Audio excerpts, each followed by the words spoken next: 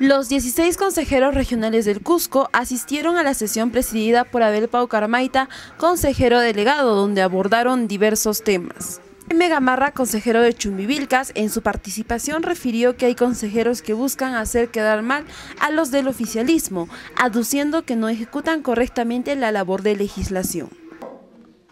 Ahí está. Dedicación exclusiva. Más, el mismo día, a último momento, ¿no? intempestivas suspensiones de sesiones del Consejo Regional provocan malestar.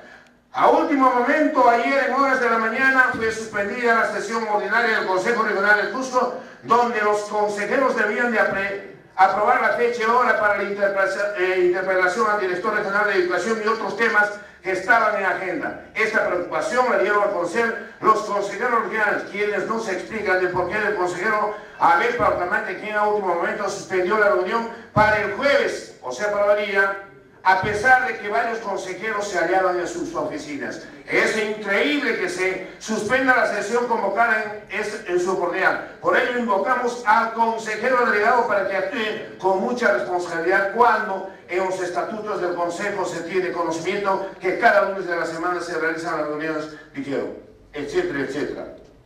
Nuevamente, consejero delegado, colegas consejeros, se está pidiendo la reconsideración para el nuevo, no nuevo, sino para el secretario general, secretario del Consejo. En este caso, consejero delegado, colegas consejeros, seamos una vez más prudentes nosotros mismos. Aquí hablamos una cosa, pero vamos a los medios de comunicación.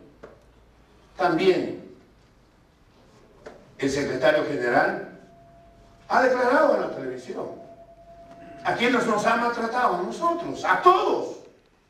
O a unos cuantos nada más. ¿Es dable eso, señor consejero delegado? Aquí sí oramos de lo mejor, pero vamos a hacer ahí están. Jamás creo que nosotros hemos ido a la televisión a despotricar de este Consejo Regional y de nosotros mismos, consejero delegado. Y lo hemos dicho, lo hemos hablado.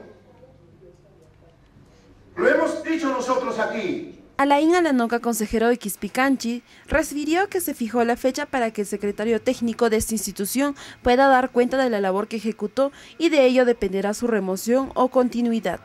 Bueno, lo primero creo que ha sido y lo que se ha estado mediatizando es que el secretario del Consejo Regional va a tener, eh, rendir cuentas en este caso el 14 de julio acerca de la labor que ha venido cumpliendo y ya pues se tomará una determinación acerca de su continuidad o su remoción. Entonces creo que se le está otorgando un justo derecho a la defensa y en ese momento ya se va a verse. ¿no? Vamos a recibir la información, ¿no? Vamos a recibir la información acerca de la labor que ha venido cumpliendo el secretario técnico y en su momento, con todos los argumentos del caso, vamos a ver, pues, ¿no? Que no se vulnere el debido proceso. Todas las personas, según el artículo 139, inciso 14, todo ciudadano tiene derecho de defensa. No se le puede condenar o juzgar a cualquier ciudadano si éste no ha ejercido su, su derecho.